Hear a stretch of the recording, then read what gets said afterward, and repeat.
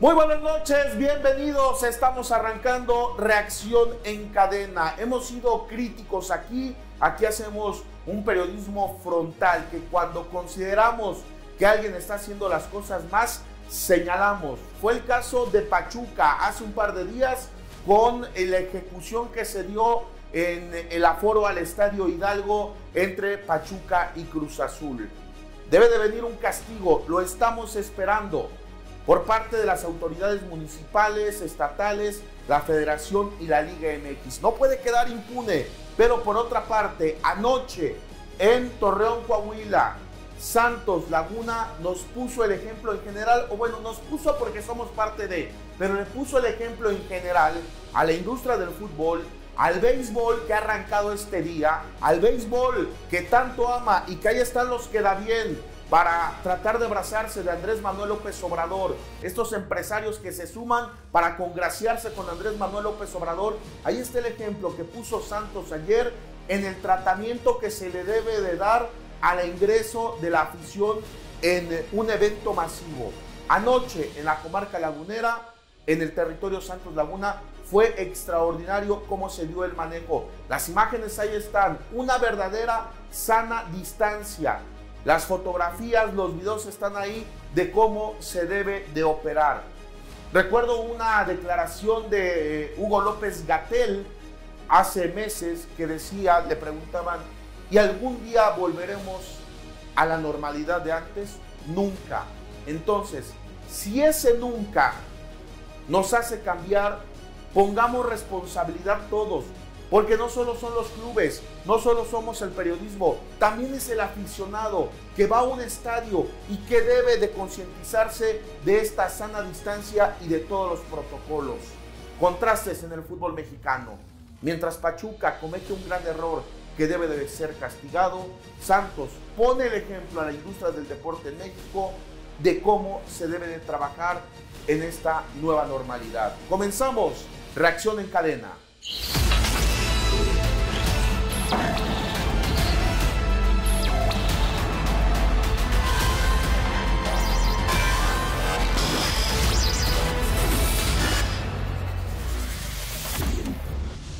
Carlos Albert Llorente, muy buenas noches. Carlos, ¿cómo estás? Muy bien, muchas gracias. Mucho gusto en saludarte, Luis, también a Helio, a la gente que nos está viendo y escuchando. Pues sí, estoy totalmente de acuerdo contigo. Vamos a esperar también la opinión de Helio. Pero a mí me parece que la única forma en que podemos sacar a, nuestros países, a nuestros trabajos, a nuestras empresas, a nuestras familias, a nuestros vecinos, de este problema enorme de salud que va a perdurar, que no se va a ir en 15 días ni en un año, es hacerlo así como lo están haciendo, como tú acabas de, comentarlo. Se pueden hacer las cosas cuando se hacen bien hechas y sobre todo con una mentalidad social nueva que, que muchos desconocíamos o desconocen. La vida en el planeta ha cambiado y si no nos metemos eso en la cabeza, si no empezamos a funcionar este, de otra manera, no vamos a poder salir de este problema. Sí se pueden hacer muchas cosas, siempre y cuando se hagan correctamente. Ese es todo el tema. Y me parece que es un buen, el deporte puede poner el ejemplo en muchos sentidos en este tema, Helio, Luis. Sí, sí, sí, ¿cómo les va? Em, pues mira, eh, hay, hay, una situación con el caso de Pachuca. El, tema es que ellos, los, todos los negociantes, eh, todos los que manejan empresas, saben, saben qué medida, de qué medida es la sanción. Entonces algunos corren el riesgo. ¿Sí? ¿Por qué? Porque el mismo consumo de fútbol, como pasó con el equipo de Pachuca, pues va a pagar eso y va a dejar para la ganancia y va a dejar para pagar todo. Entonces de ahí viene, de origen. Y es desde, desde las leyes ¿sí? Desde cómo se aplican las leyes y los castigos a, aquellas personas que, hacen una falta como esta. Desde ahí, ¿sí? Si lo hizo Pachuca, listos porque en otra, en otra ciudad lo puede hacer otro, ¿eh? Hay que ponerse listos. Bien que Santos respetó, pero todo es, es de ese origen, para mí. Yo calculo el riesgo y calculo lo que voy a pagar, lo asumo, ¿sí? Porque les valió, no quiero hablar de salud, porque les valió. O sea, les valió en Pachuca. Eso es una realidad.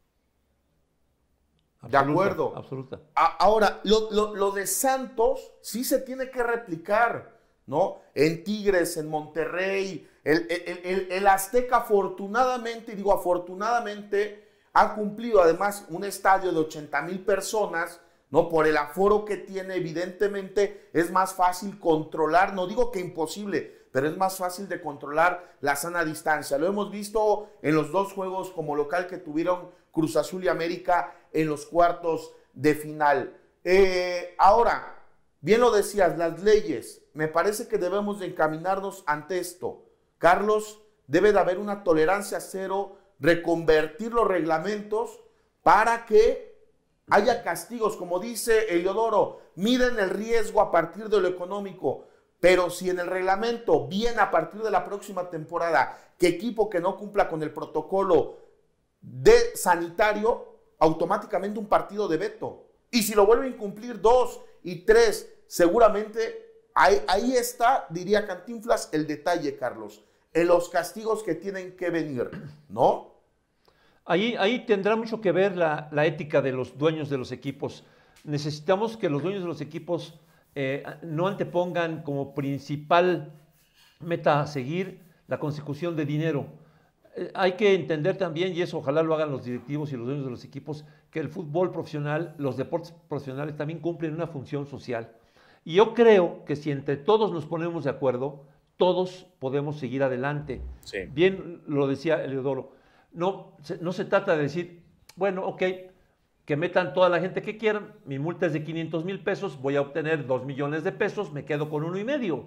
El, chiste es que, que, los directivos no piensen en dinero, sino piensen, a ver, no puedo permitir que mi equipo se convierta en un foco de infección del coronavirus, porque no, no vamos a acabar nunca con este tema. Ah, yo creo que hace falta también, ¿saben qué? Perdón, Eleador, Miguel, ya me voy rápido. ¿Saben qué hace falta? Que se sienten a platicar los directivos de la federación con las diferentes autoridades para que tomen un rumbo fijo, ya autorizado por todos, que se cumplan con, el acuerdo a que lleguen. Pero no podemos escuchar a las autoridades los lunes, a los dueños de los equipos los martes, a la federación el miércoles y que todo siga igual. Hace falta que se, que se sienten a platicar, carajo. Ahora, son uno mismo, ¿eh? Son uno mismo, perdón. Eh, pero acá, acá, acá es más culpa de Jesús Martínez, es culpa de la autoridad en Pachuca, del municipio, ¿sí? Del municipio o del gobierno, ¿sí? Porque, a ver, ellos durante el proceso de llenado del estadio, filas, la afluencia de gente, pues tienen que tener inspectores del municipio para que ahí digan, de acuerdo. Ah, caray. Ahora, todo ingreso a estadio debe de estar, está eh, enumerado al momento de ingresar. Debe haber un tope. Ahí te van, cuando entras a un antro, te van, ahí va el vigilante poniendo uno, dos, tres con el aparatito. Todo eso, perdón, pero eh, está a la mano, a la mano. Y, señor, ya entraron nueve mil hasta aquí no entran, ¿sí? Pero no, pues ¿por qué? Porque a la gente en Pachuca y en cualquier lado pues les interesa también recuperar, ganar algo de dinero. ¿Y saben por qué? Perdón. Porque hay un dicho que viene desde toda la antigüedad que aquí se aplica perfectamente bien. Al pueblo, pan y circo. Al pueblo, pan y circo. Y los gobiernos saben que en este caso el circo se refiere al deporte profesional, no nada más al fútbol, al deporte profesional. Y lo están utilizando para eso y me parece muy poco ético. No. Perdón, tenemos que ir a pausa. Creo que también, eh, y, no comparto esa visión porque nadie obligó a ir a la gente. La gente compró su boleto. La gente, producto de la fatiga pandémica, busca salir. O sea, es un tema más allá de, de tema de, de, psicología, si se me vale la palabra. La gente busca ya salir y vas por el Estado de México y los antros abiertos y las pizzerías abiertas a full. La gente está buscando salir y ahí es donde, más allá de responsabilizar al gobierno, a los equipos de fútbol, somos nosotros. Cada uno de nosotros. Cada persona. Nadie obligó a ir a ese aficionado y a no tener la sana distancia. O sea, sí, sí, es un tema, sí es un tema bien, bien interesante. Vamos a publicidad. Regresamos en un momento.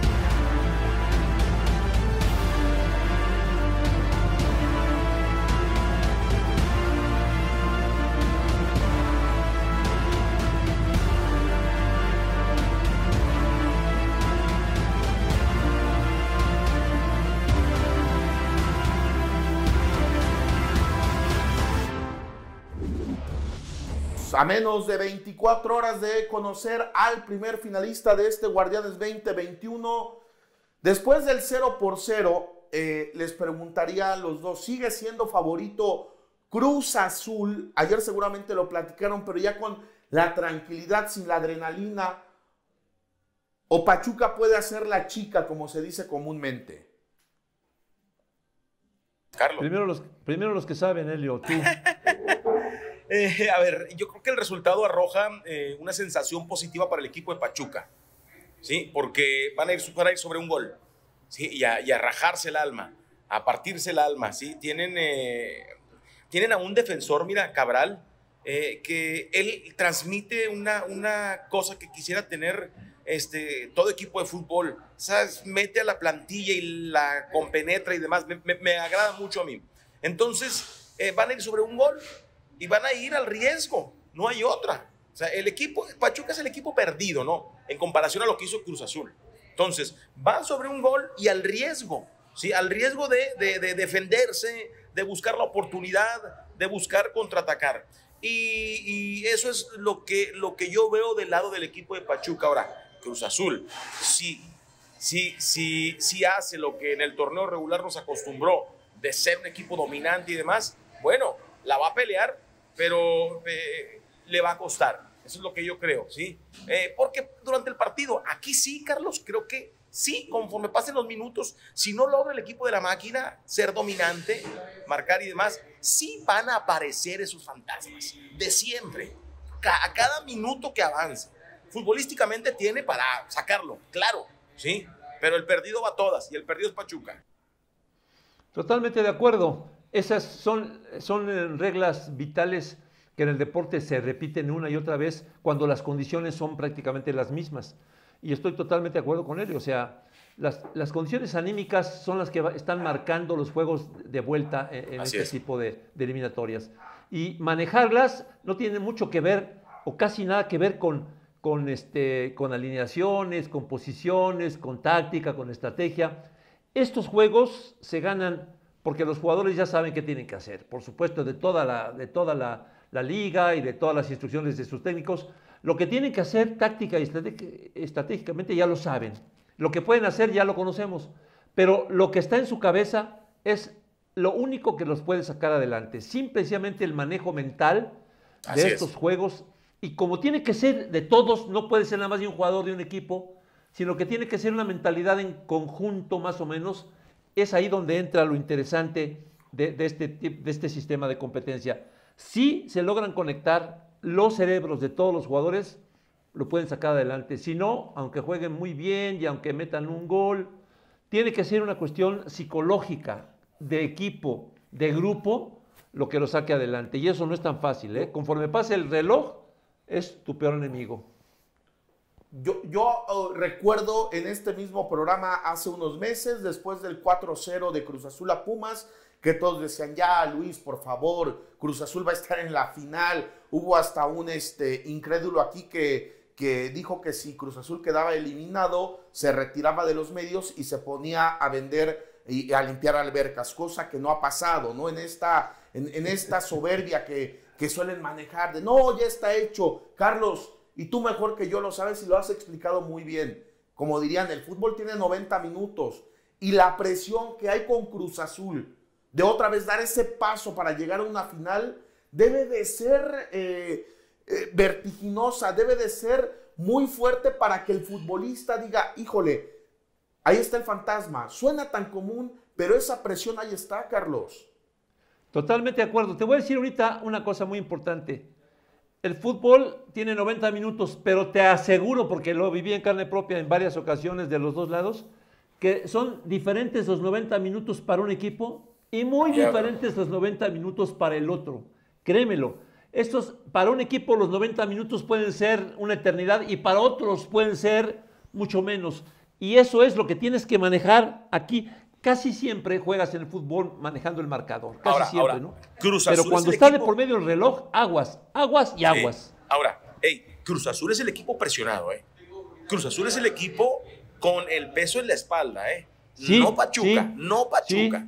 ¿sí? Pesolano ya cumplió, eh, según la plantilla, según eh, lo que es hoy el equipo de Pachuca, ¿eh? O sea, hoy Pesolano ya cumplió, ¿sí? Eh, puedes decir también, también Reynoso, pero todo el entorno no van sobre Reynoso, van sobre Cruz Azul y su historia. Y se llevan de, encuentro a Reynoso. O sea, se lo llevan de encuentro. Si somos justos, podemos decir también Reynoso ya cumplió, pero su equipo se llama Cruz Azul. Entonces, es el presionado. Es el, sí, sí, sí, a ver, a ver. no, no ha cumplido Reynoso. Quítale el nombre de Cruz Azul. a ver, Luis, no quita el nombre de Cruz Azul. y, te digo por qué algo, Lolo, y, y te dejo continuar. En los últimos 23 años, últimos, ningún técnico ha cumplido en Cruz Azul. No podemos hablar de que cumplieron hasta que vuelvan a levantar la liga. Por la exigencia. Claro, no podemos hablar por eso, escúchame. Quita el nombre de Cruz Azul, quítalo. ¿sí? Así como llegó Juan Reynoso, que no era la primera opción, ¿sí? Que era la que había. ¿sí? Es un tipo que ha hecho un gran trabajo, ¿sí? Pero hoy lo arrastra toda esa historia, ¿sí? Que necesita un título. Hoy cumplió en el torneo regular sumando esa cantidad de puntos que son que 41 y siendo ah, líder, siendo, siendo, siendo, dominante, siendo dominante, dando gran partido en liguilla, en liguilla, ¿sí? devolviendo el fútbol a la Ciudad de México, que era fundamental. Él lo hizo, o sea, le devolvió el fútbol de, de emoción, ¿sí? Entonces, Hoy es el equipo presionado. Pachuca, por eso te digo, va a ir al riesgo, a buscar uno y después que el riesgo siga a ver hasta dónde me lleva. Y si me lleva a la final, excelente, excelente, ¿sí? Y si no, bueno, era lo normal, porque el equipo que dominó llegó a la final y van a decir, se lo merece. Hoy Santos ya está instalado en la final y iría sobre el equipo de Santos también en favoritismo. Entonces, la presión es absoluta para el equipo de Cruz Azul. Carlos. Estoy de acuerdo, la presión siempre, en estos casos la presión, y sobre todo por el historial, Cruz Azul, para mi gusto el equipo que sale presionado es el equipo de Cruz Azul, más allá del marcador. Estoy de acuerdo con Elio. Pero de ahí de decir que ya Reynoso cumplió, yo no coincido con Eliodoro, no es Tigres, no es Monterrey, no, no, no, no. Es Cruz Azul y sabemos esta exigencia constante que hay hacia Cruz Azul y que el que haya terminado como primer lugar, esto Lolo ha pasado en los últimos 23 eh, años muchas veces, muchas veces de terminar en primer lugar y de hacer una liguilla y no logran el objetivo. Dato anecdótico, la maldición, si se le llama así de Cruz Azul, inicia justamente en el 99 perdiendo la final con Pachuca, con aquel gol de Glaría de cabecita, ¿se acuerdan, no? Yo no. Eh, en el diciembre del 99, Lolo, ¿no? Entonces, a partir de ahí, Cruz Azul pierde esa final y es el mal fario que tiene. Qué mejor que encontrarse con Pachuca para, ¡pum!, vámonos y avanzar a la final. Sí, sí, sí. Sí, a ver, eh, eh, tienes, tienes razón y le metes toda esa historia y, y puedes sacar contextos, ¿no? Pero hoy, a ver, Hoy, eh, nada más para, para, para ser realistas, eh, nada más hay que aplicar lo del torneo regular con el equipo de Cruz Azul, aplicar la del torneo regular. Si aplican la del torneo regular y que no les caiga esa presión que vamos a, comentar ahorita y en todo momento y hasta, hasta que se lleve a cabo el partido y durante los minutos, ¿sí? si aplica la del torneo regular, jugar sin el costal ese de peso en, en, en la espalda, entonces lo, ponemos en la, en la gran final. no descartemos nada, no descartemos nada, porque el perdido, y en el perdido, fíjate que hay un tipo, ¿sí? Con una mentalidad muy ganadora. Y yo me lo imagino, aparte de Pesolano, eh, Carlos, bajando, estando en, una práctica ahora, el, propio Jesús Martínez, aunque esté alejado, ¿sí? Es un tipo que contagia, es un tipo que, que alienta y que es fundamental, ¿sí? Vamos a ver eh, qué tanto juega en eso, ¿no? Eh, qué tanto juega y qué tanto les mete en la cabeza lo que hoy yo te estoy diciendo, ¿no? Lo que puede pesar esa presión sobre Cruz Azul. Pues sí, yo de acuerdo. sí, Carlos. yo creo que la presión va a correr. Fíjate que, voy a decir una blasfemia. Creo que la presión va a correr a favor de Cruz Azul. veremos. Veremos, veremos. Vamos a publicidad. Hablaremos de la otra semifinal. Y también esta noche, aquí, el representante del regio, regio periodismo al desnudo. Lo vamos a cuestionar. si qué tratamiento le van a dar a Miguel Herrera, si va, van a permitir que Miguel Herrera controle a la prensa. De esto y más, al regresar.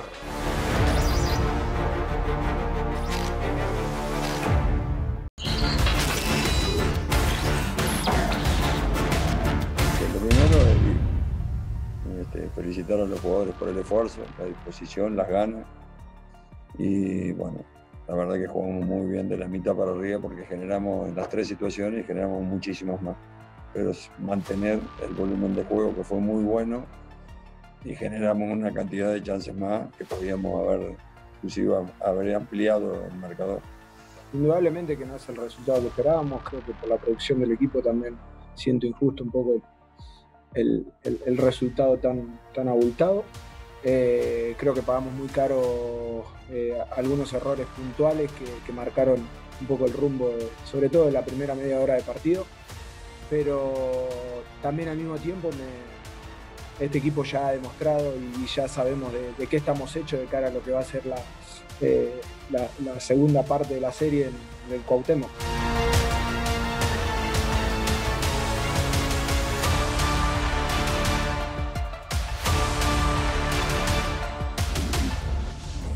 Miren, eh, estamos de regreso.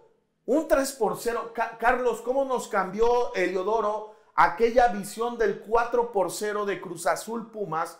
Porque el partido de anoche entre Santos y, y, Puebla lo platicaba con Emanuel García en la Junta Editorial. Igual pudo haber sido 3 por 3, ¿eh? O sea, el factor, la figura de Acevedo, el portero que me hizo recordar las grandes épocas de Pablo Larios, que se aventaba una, se levantaba, atajaba la otra y otra en una misma jugada. Ayer sí es 3 por 0 lo de Santos, pero Puebla no hizo un gol gracias a la gran actuación de este chico Acevedo. Claro.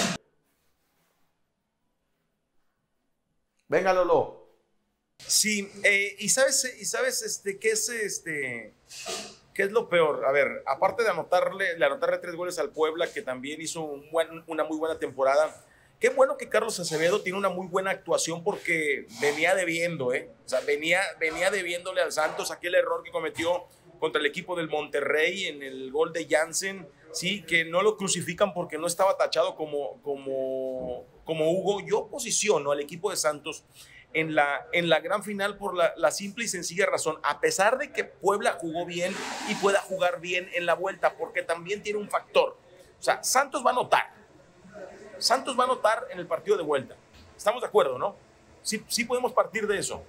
Va a anotar sí. uno, uno, uno, uno. Y anotando uno, ¿sí? La necesidad van a ser de que cinco para el equipo de Puebla. Estamos, de cinco, estamos, claro. Sí, cinco. De cinco, cinco, goles. Entonces, oh. entonces yo ya no voy a ir, yo ya no voy a ir a la parte futbolística como tal. La puede pelear, la va a pelear, se va a morir en la raya el equipo de Puebla, va a jugar bien el equipo de Santos, que, que es un ejemplo para el fútbol de México porque con Orrantia, con, con Omar Campos, con Alan Cervantes, ¿sí? con, con el Muro Aguirre. Fíjate, Carlos, los nombres que estoy mencionando no son del gran cartel de los que hay en el fútbol regiomontano, por ejemplo, son mexicanos. Y con ellos determinó en la ida la serie. Yo me voy a lo mismo, la parte psicológica que se va a jugar desde el primer momento. Es más, no, desde ahorita.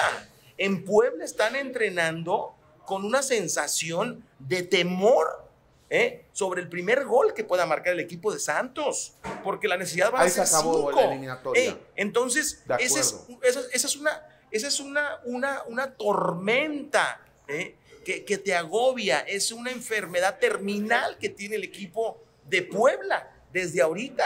Es una enfermedad terminal que nada más está esperando que concluya ¿sí? el ciclo de los próximos 90 minutos, pues para ir tres metros bajo tierra. Así que así se juega, ¿sí? Se juega de, de esa manera.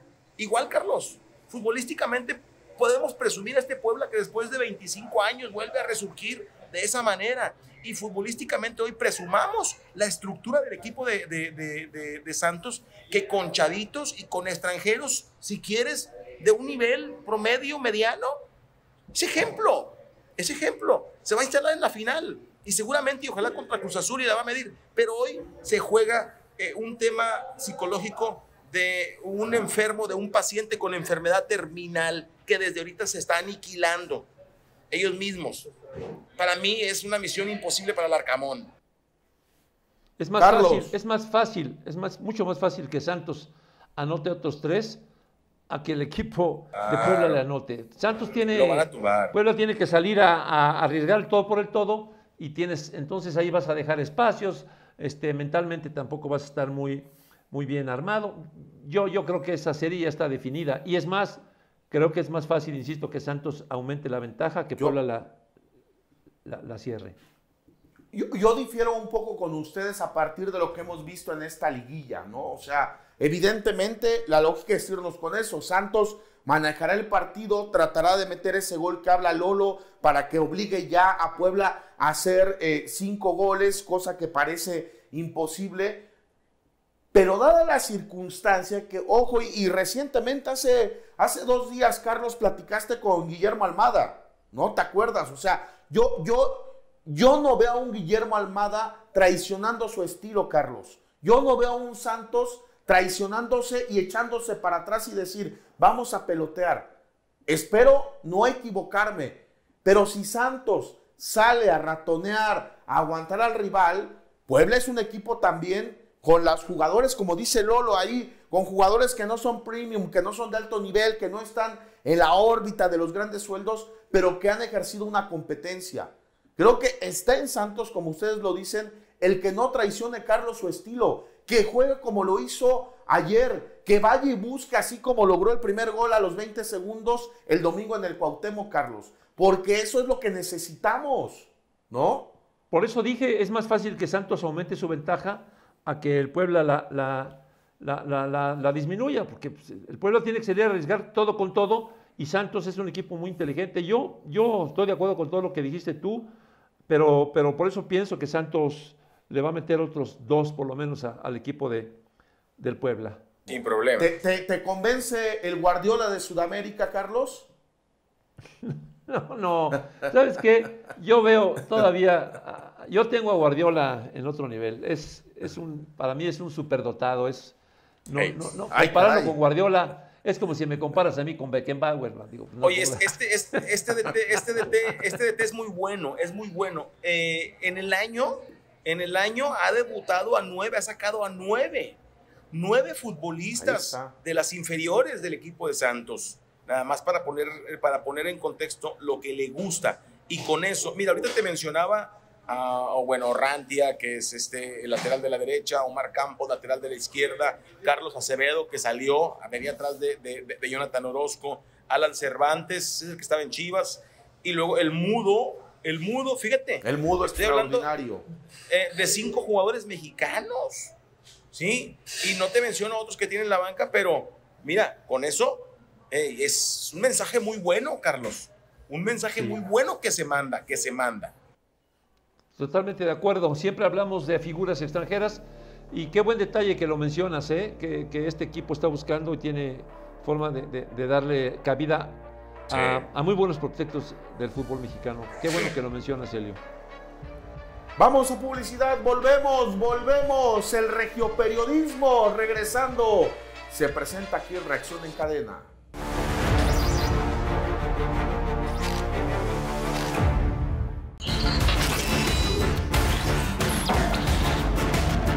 Continuamos con más aquí en Reacción en Cadena.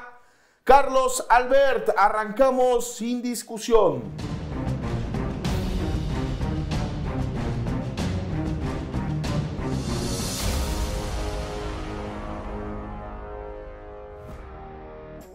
Colombia se va a quedar sin Copa América. A dos semanas del inicio del torneo continental, la Federación Colombiana de Fútbol solicitó a la Conmebol posponer el evento a noviembre derivado de los conflictos sociales que aquejan a Colombia.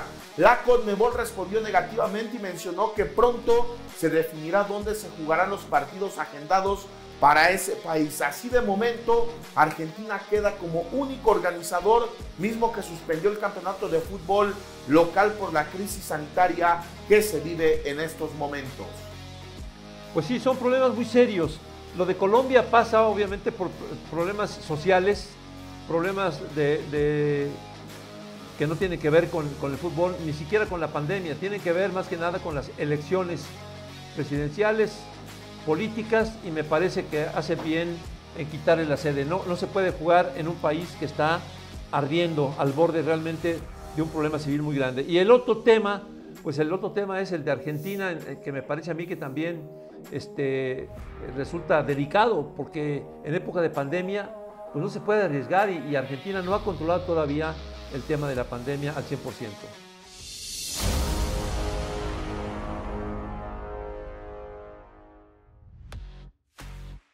Confirmado el regreso de la Conca Champions. Como sucede periódicamente, el torneo entró en un receso antes de las semifinales, pero ya hay fechas para esta fase. El 12 de agosto se jugarán las dos semifinales de ida entre América, entre primero Monterrey y Cruz Azul, así como la del América ante el Philadelphia Union. El regreso será el 15 y 16 de septiembre, Carlos. Así que ya tenemos fechas para la Liga de Campeones de la CONCACAF.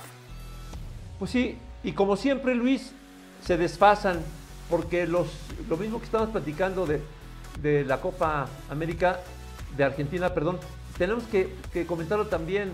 Entre el, torneo de Estados Unidos y el torneo de México siempre hay un desfase y entonces eh, pues ahí también los jugadores caen en el mismo, en el mismo problema. Pero yo soy de los que pienso que si se planea bien, si se conoce a tiempo las fechas, el profesionalismo actual, la, el, el estilo de entrenamientos, la calidad de las ciencias aplicadas al deporte permitirían que los equipos llegaran en, un muy buen momento. O sea, quizá no en el mejor, pero tampoco valdría la pena ponerlo como pretexto.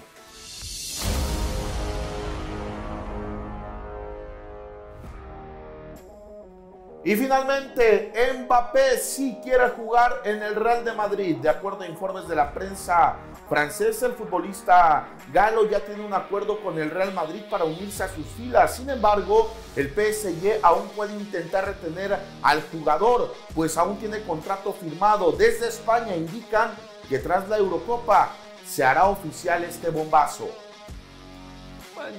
Yo, creo que todos sabemos que Mbappé ya se quiere ir le va a convenir enormemente en muchos sentidos. Y si yo fuera el PSG, yo sí lo dejaba salir. Ya, ya lo, lo, disfrutaron, le sacaron provecho, es un jugadorazo. Y a mí me gustaría mucho también ver a Mbappé en el fútbol español.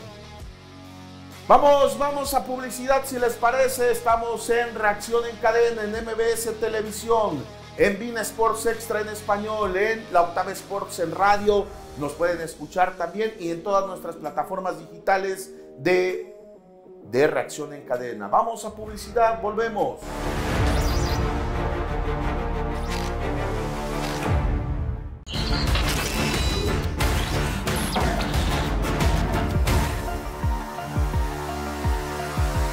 Quiero ser un, un Taca Ferretti, pues, hoy es una institución que da ese beneficio, que tiene paciencia, que sabe lo que, lo, la exigencia de su público, pero que también sabe tener proyectos. Y bueno, nuestro proyecto esperemos que sea muy, muy largo plazo, eh, que nos quedemos mu mucho tiempo acá, ¿no? Los resultados tienen que ser ya. Esperemos que nuestro proyecto sea a largo plazo con una institución que ha puesto ejemplo en el fútbol mexicano de esa constancia y de, por supuesto, tener paciencia para que el equipo salga adelante siempre.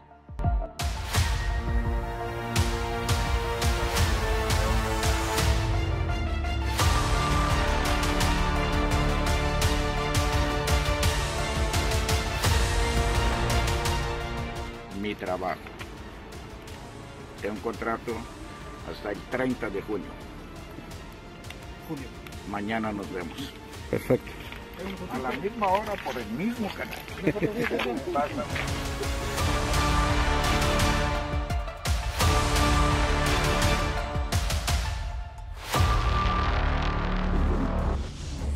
De regreso en reacción en cadena es Eliodoro, te lo pregunto y también a don Carlos.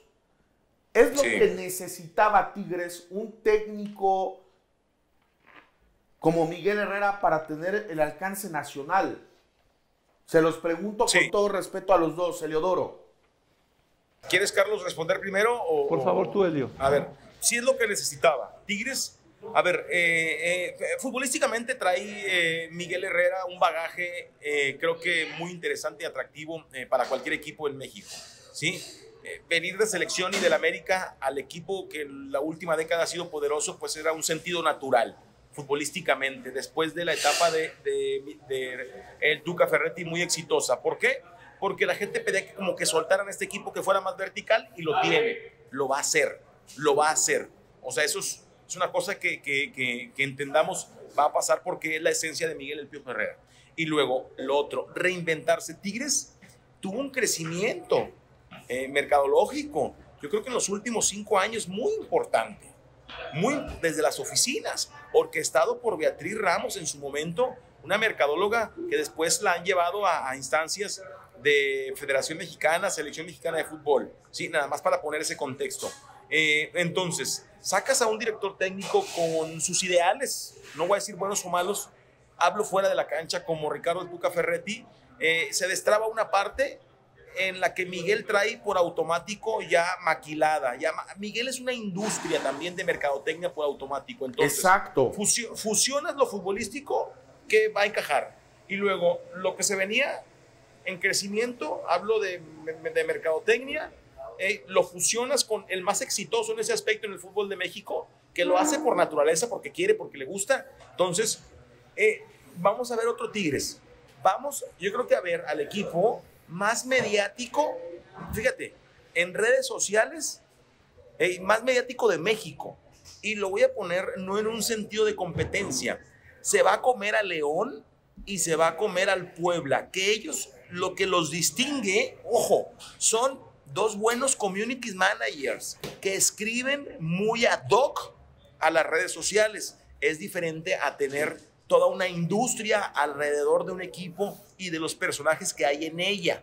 Ayer dieron ¿sí? una eh, cátedra o una muestra de lo que va a ser este equipo. No apareció el directivo presentando al nuevo director técnico, no. El directivo pasa a la oficina a Exacto. pensar, a meterle cerebro y no ser el que va a mostrarse. Sí, es un sentido natural que venga el, el- el directivo y que lo presente. Es un sentido natural, lo vemos en, en todos los equipos, creo que casi en el mundo, ¿no? Ayer los protagonistas a través de la plataforma que hoy es protagonista, ¿sí? O que son protagonistas en el equipo, en el equipo de, en los equipos de fútbol. Viene el que sabe hablar mejor, que es Nahuel Guzmán, que sabe sostener una charla de una hora con Miguel Herrera a través de las redes sociales. Eso va a ser Tigres. Sus canales de comunicación van a ser las redes sociales y después lo que sigue. Van a ser eh, unos generadores de contenido, ¿sí? Para toda su fanaticada. Con salidas de talentos muy mediáticos en sus plataformas. Talento, ya hablo eh, de Miguel Herrera y lo que hace con su celular, igual cada jugador de fútbol. Se va a reinventar en esa parte. Es más, eh, no sé si reinventar porque ya venía, se va nada más, eh, está dando un paso, un paso hacia, hacia arriba. Y vas a ver que al rato le integran un community manager o dos o tres o cuatro que vayan ad hoc al lenguaje del fanático. Eso es. Así va a ser. Así va a suceder. Y, y Miguel, Perdón. mientras tenga tiempo, Miguel, mientras tenga Salud. tiempo, va a, atender, va, va a atender a todos. A todos. ¿Sí? 100% Muy de bien, acuerdo Carlos, contigo, quería Elio. comentar algo. La contratación de Miguel Herrera tiene dos facetas muy marcadas. Una, que como técnico es bueno, es ganador, por supuesto que sí, conoce. Y la segunda, y quizá la más importante, es mediática, 100% Sí. mediática. ¿Cuál era su frase en la América? Ódiame más. ¿Cuál es la frase que ya acuñó ahora que está aquí? Dice, yo vengo a caerles gordo. O sea, es más o menos lo mismo, va por el mismo lugar. Y Eh, con el plantel claro. que tiene, a mí me parece, me parece que sí es un cambio, un cambio no, no, no, prof- no, no de fondo, sino de forma. Sí. Exactamente. De acuerdo. Exactamente. Vamos a publicidad, ¿les parece? Regresamos. Ojalá hubiera más periodistas en Monterrey como Eliodoro, con la claridad, con la objetividad, con ese punto fino y no convertirse en matraqueros. Qué gusto trabajar con un periodista de Monterrey que sea así, ¿o no, Carlos? Claro. ¿Sabes qué? ¿Sabes qué? Aquí se les paga bien y se les paga por lo que saben y por su moral y por, y por todo eso, ¿no? Por supuesto. que Vamos, sí. vamos y regresamos.